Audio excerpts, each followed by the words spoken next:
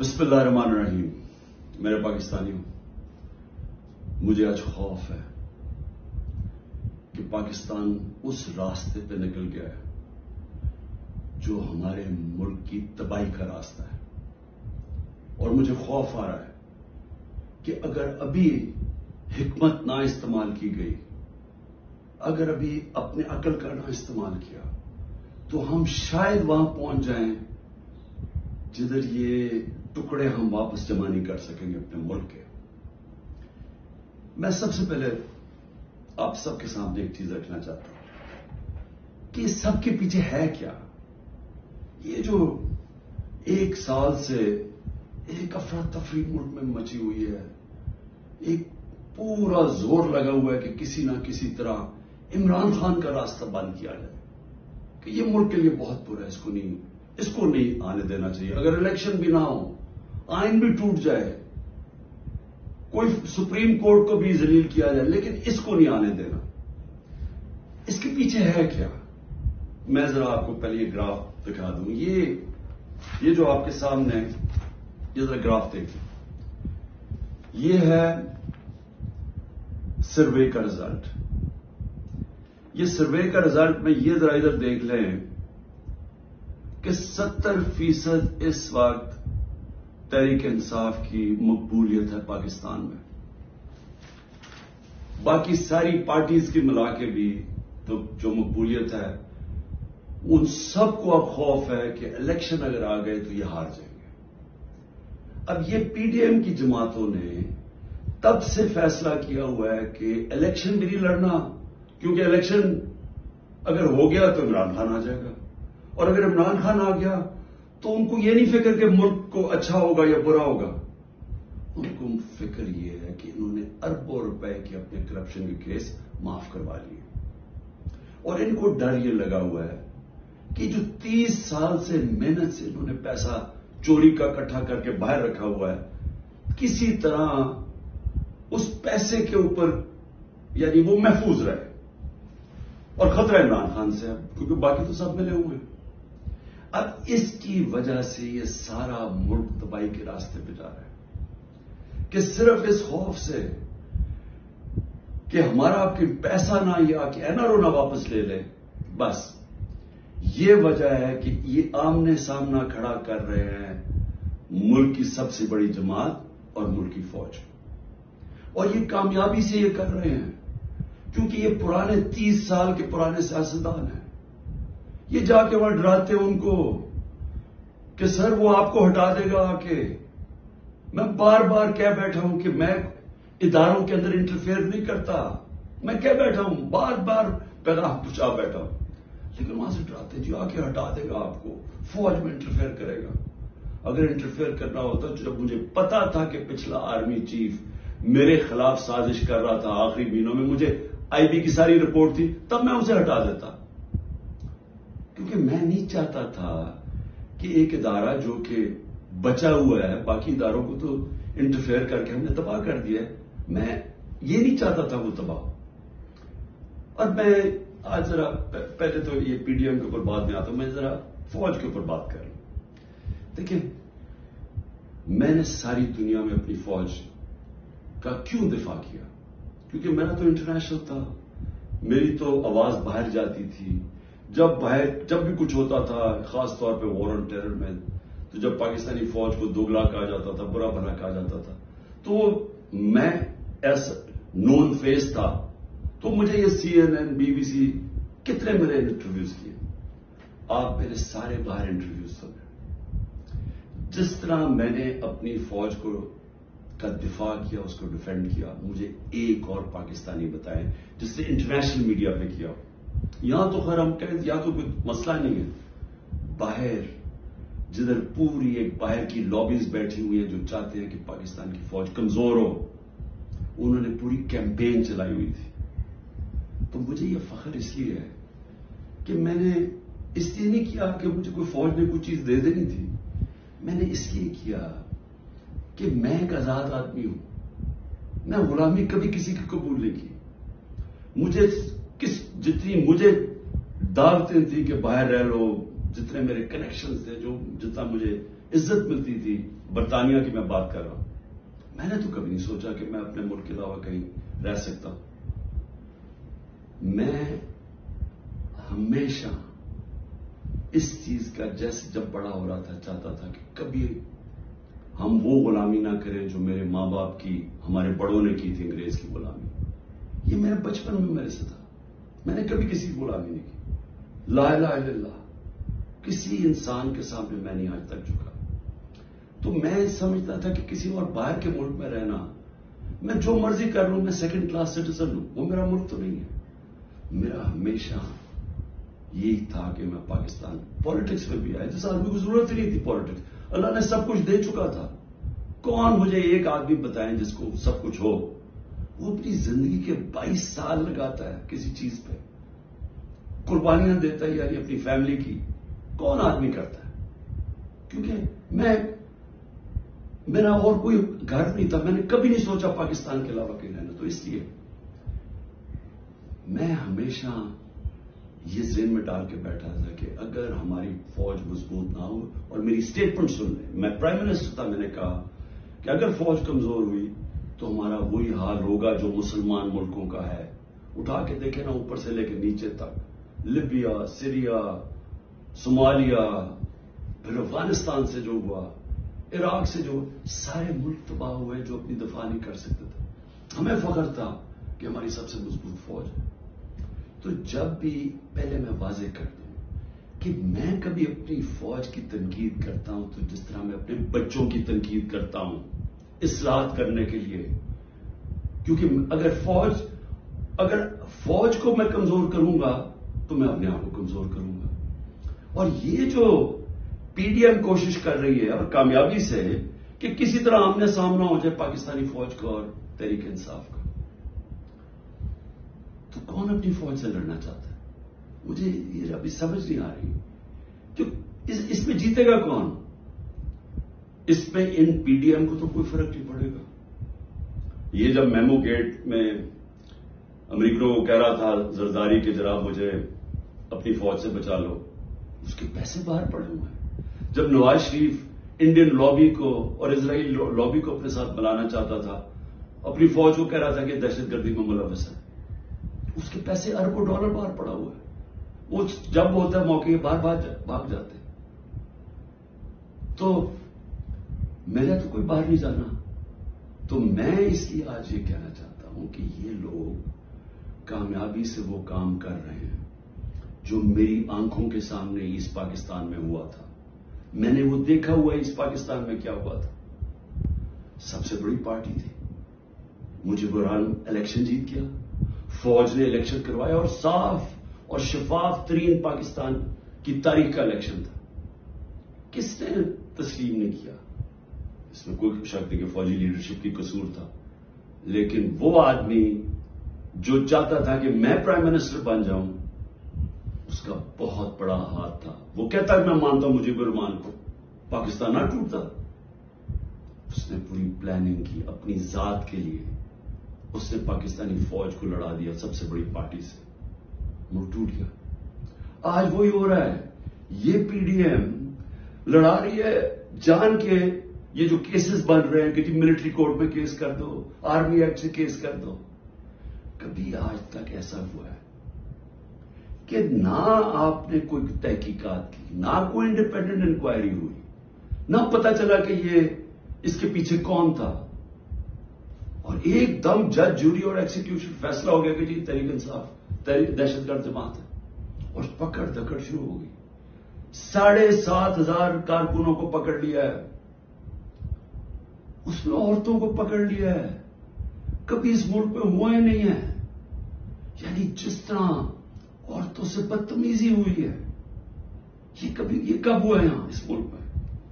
और फिर, यानी घरों में जाना, रात को, सारा घर तोड़ देना, औरतों से धक्के दे रहे हैं औरतों को।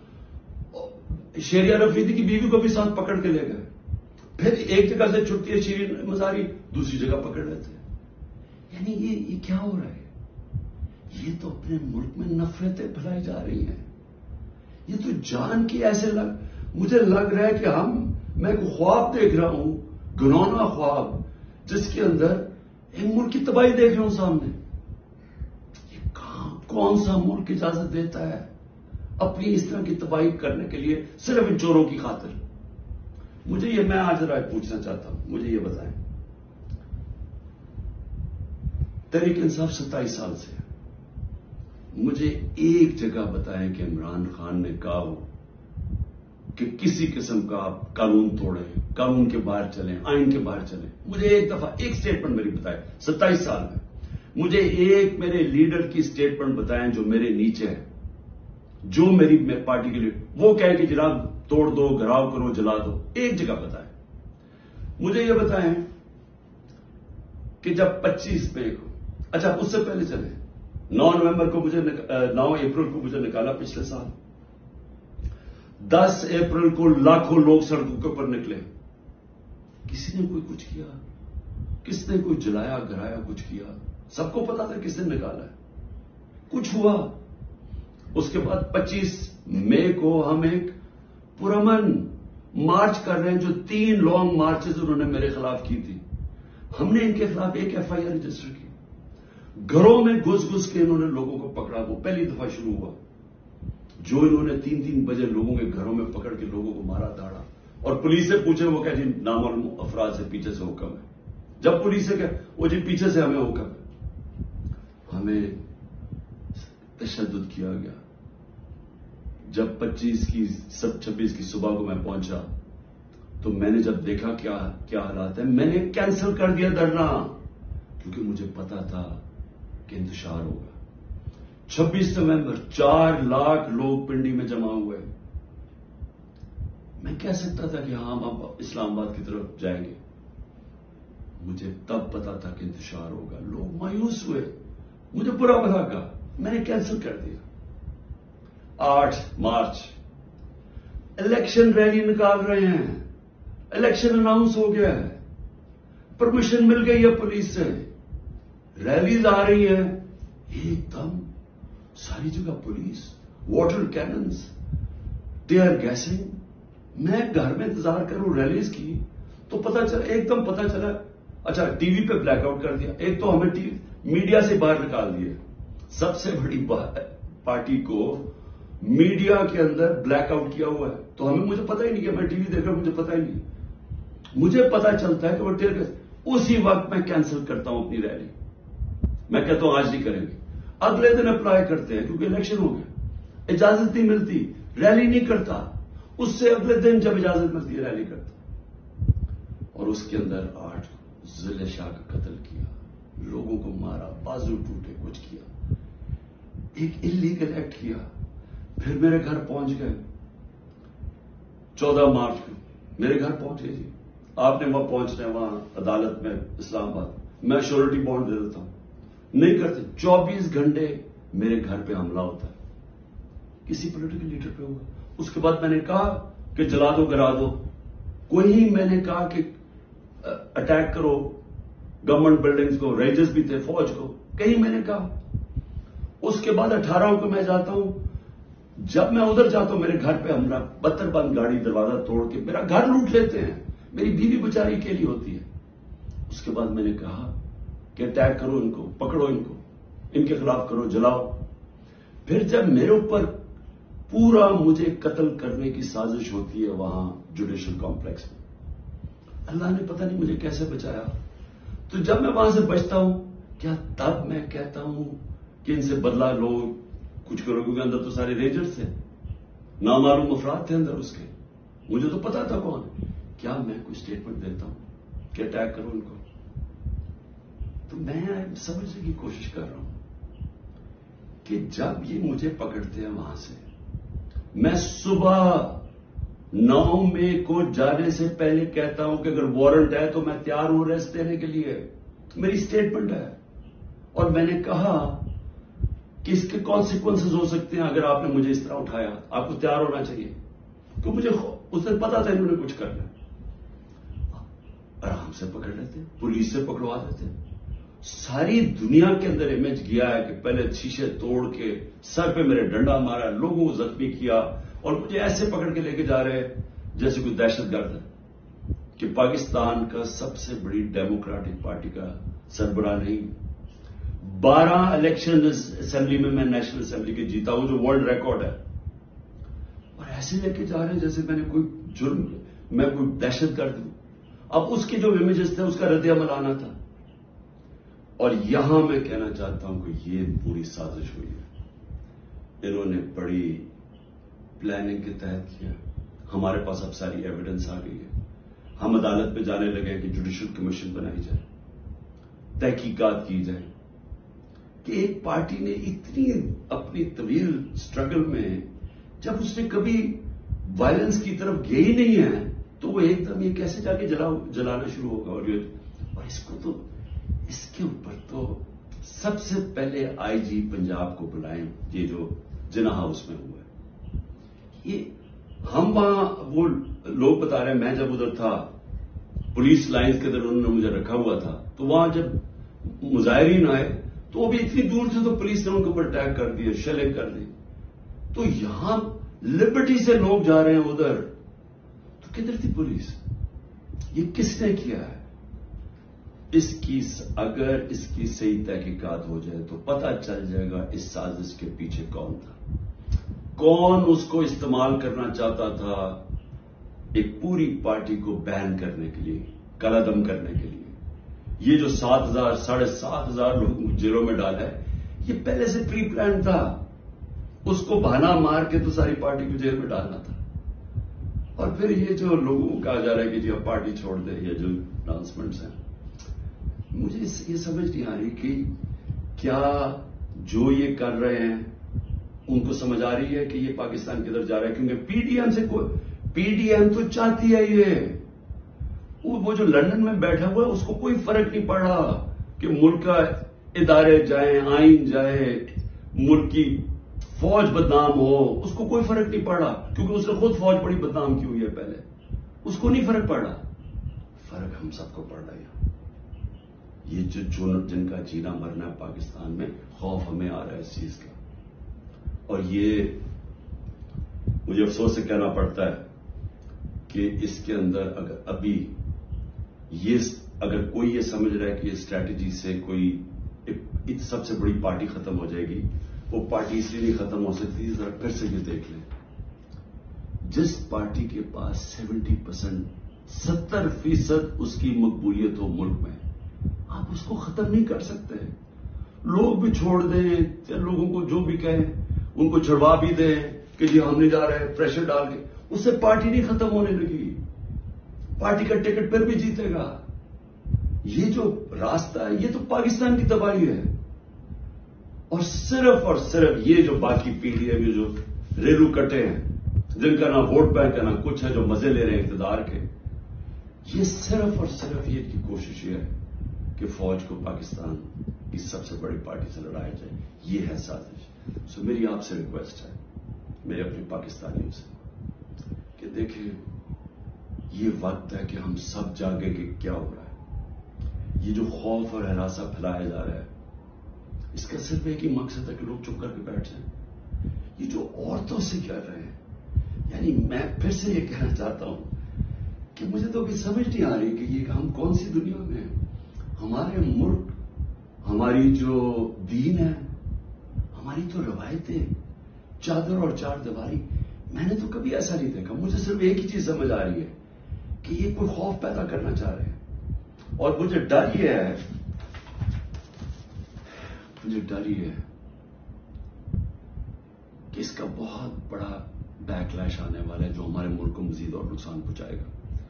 अभी तक कोई जो बात नहीं कर रहा, सरकारी बिल्डिंग्स की बात कर रहा, और मैं जब कर हमने इनशाला हाई कोर्ट में जा रहे हैं कि जुडिशल कमीशन फौरी बनाई जाए, क्योंकि हमारे पास अब सबूत आ गए हर जगह हमें लोग नज़र आए जो हमारी पार्टी के नहीं थे, जो जिनके पास बंदूकें भी थी, पिस्टल भी थे, जो आगे आगे कह रहे थे कि अटैक करो कोर कमांडर हाउस मियाँ वाली का, मियाँ वाली के लोग इतने खुश थे, वो जो हमारा जहाज़ चौक जैसे कहते थे, वो किससे चला है वो तो सारे, एक एक मेरा कारकुन कह रहा है कि जब उनको पता चला, उन्होंने रोकने की कोशिश की। कोई नामालूम अफराद थे इसमें? तहकीकात होनी चाहिए, जिस तरह Jinnah house. Radio radio Pakistan. Radio Pakistan कैसे जल गया? आप देखें, मुजाहरा कहीं और और रेडियो पाकिस्तान उधर जल जाता उधर तो बंदा ही नहीं कोई होता। और आजकल तो फेस रिकग्निशन हो सकती है नादरा के ज़रिए। पता चल सकता है कौन है? तो इसके लिए इंडिपेंडेंट तहकीकत चाहिए। मैं जरा सिर्फ़ अभी गिरा दूँगा अब तक। 25 लोग शहीद हो चुके हैं।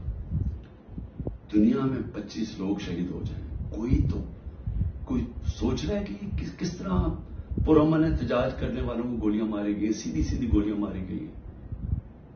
25 अब तक शहीद हो चुके हैं और सबसे ज़्यादा खतरनाक 700 लोग इस वक्त गोलियों की बूम से गोलियाँ लगी हुई जिनको अस्पतालों में 700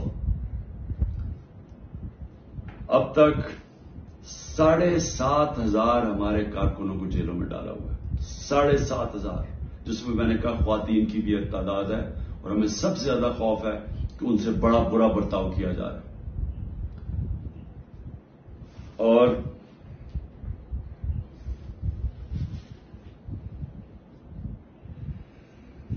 आखिर में मैंने अभी सुना है कि जनाब चालीस दहशतगर्द मेरे घर में हैं, जिनको मैंने पना दी हुई है। और कहा जी कि हम इनको इनके ऊपर कोई घर के ऊपर कार्रवाई होगी चालीस दहशतगर्द को पकड़ने के लिए। मेरी रिक्वेस्ट है आपको कि चालीस दहशतगर्द अगर घर में हैं तो मेरी ज़िंदगी को भी खतरा है। मेहरबानी करके ज़रूर आए यहाँ। लेकिन इस तरह ना आए कि कोई दावा बोल के इस तरह करें सर्च वारंट लेके आए, एक मौसम माशरे की तरह। आए आए कि कोई नाम तो दे दहशतगर्द है कौन? और आए हम आपको सारी दिखा देते हैं, घर में किधर है, कितने दहशतगर्द है। शायद मेरा ही फ़ायदा करवा देंगे कि अगर कोई छुपा हुआ वो दहशतगर्द है। लेकिन इसको एक बहाना ना मान बनाए। जिस तरह हमारे लोगों को पकड़ रहे हैं, जिस तरह इसको सारी, इसको इस्तेमाल किया गया है, तहरीक इंसाफ के ऊपर क्रैक डाउन करने का। इसको भी इस्तेमाल ना करें कि जिस तरह कि जी इमरान घर के घर चालीस दहशतगर्द छुपे हुए हैं तो हमला कर दो। तो इसलिए मैं आज सबको कह रहा हूँ कि इस वक्त इसको आ, और आगे ना बढ़ाएँ क्योंकि ये बढ़ती जाएगी किधर तक जाएगी बात? इसमें तो कोई हल है ही नहीं कि सिर्फ़ पीडीएम को फ़ायदा करवाने के लिए कि वो जो मैं बार बार कहता हूँ कि ये ये हालात हैं कि सत्तर फ़ीसद इस वक्त कौम इधर खड़ी हुई है तो ये जो थोड़े से रेलू कटे हैं इनको बचाने के लिए यानी सबसे बड़ी जमात को खत्म कर देना है, खत्म करने की कोशिश। क्या ये हो सकता है? इसलिए अभी भी वक्त है। अकल करें, बात करें, मसला हल करें। और मसला एक ही है। मसला किसी से पूछ लें। तरीके इंसाफ की बात नहीं कर रहा। किसी से पूछ ले कि इस मुल्क में सियासी इस्तेकाम आ ही नहीं सकता जब तक आप इलेक्शन ना करवाएँ। मैं एक साल से ये कह रहा हूँ। मैं आज भी ये कह रहा हूँ। कि इसका सिर्फ़ हल इलेक्शन है। और मैं तब से इंतज़ार कर रहा हूँ कि कोई बातचीत करे इस पर जिन लोगों से हम बात करते हैं, वो इलेक्शन का नाम ही नहीं सुनना चाहते। वो अजीब अजीब बातें करते हैं कि जी वो अक्टूबर आरोप से आगे चला जाए। तो वो वो तो ये तो होना ही नहीं। अगर ये आज सत्तर है तो ये और बढ़ जाएगा आगे। लीड और इनकी बढ़ जाएगी। तो उन्होंने तो इलेक्शन नहीं करवाना। तो जो करवा सकते हैं, मेरी आज आपसे अपील है, इस मुल्क को बचाएँ और इलेक्शंस करवाएँ। 是这样